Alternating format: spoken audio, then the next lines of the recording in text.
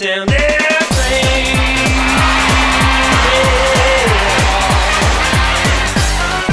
not an ordinary fella.